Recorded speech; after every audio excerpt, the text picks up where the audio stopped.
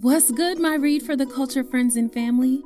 Thanks for joining me as I read a special series of international children's stories brought to you by the Dubai UAE Expo 2020 school program. At Read for the Culture, we celebrate, appreciate, and patronize our authors and illustrators by adding their stories to our at home libraries. So please visit the description box for a link to your free copy of the Expo 2020 Children's Tales from Around the World.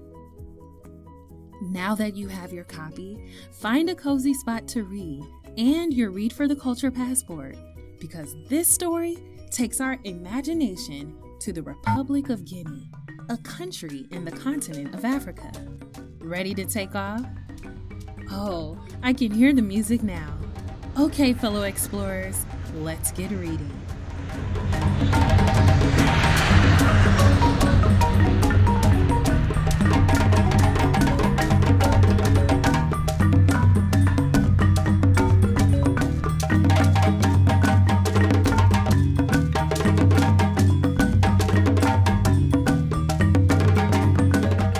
Sosso Bala, the magical balafon. Illustrated by Lincoln Soumah. 800 years ago, in a land located today in Upper Guinea, there once was a sorcerer named Sumaoro Kante, who ruled as absolute king over the Soso, a group of Mande people. Sumaoro Kante made a deal with Jinnah Maghan, the king of the jinns, who are supernatural spirits.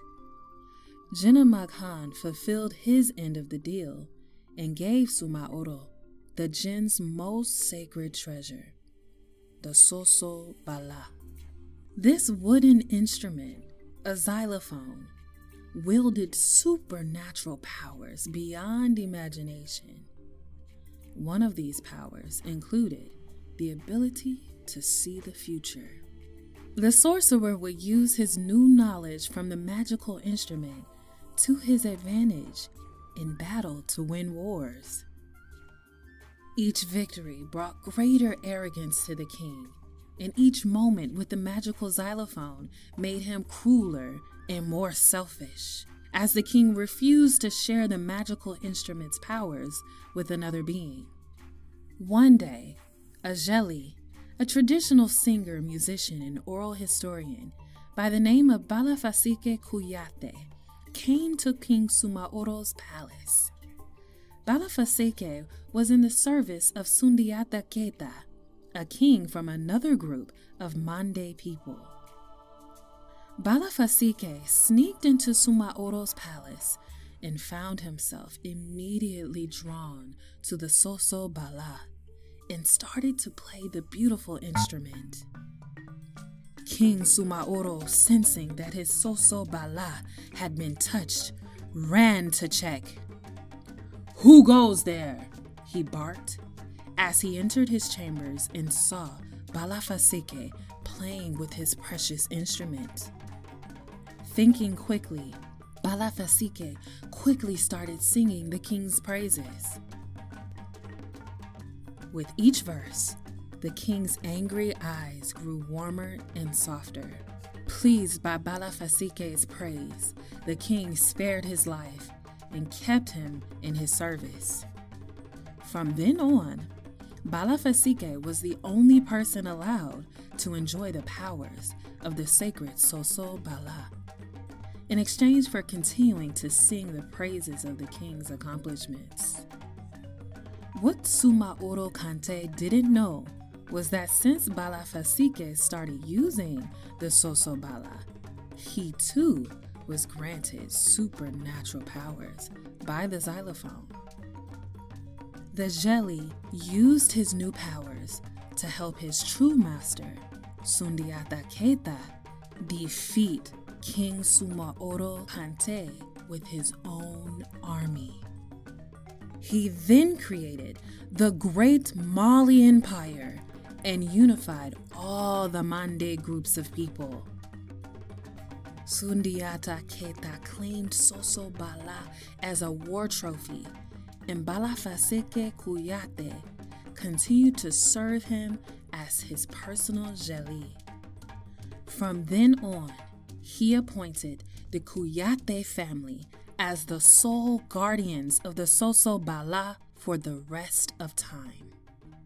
And so, the Sosso Bala transformed from being a tool of tyrannical rule to one of cultural healing in the hands of Sundiata Keita and his singer, forever representing unity and freedom of the united Mande people.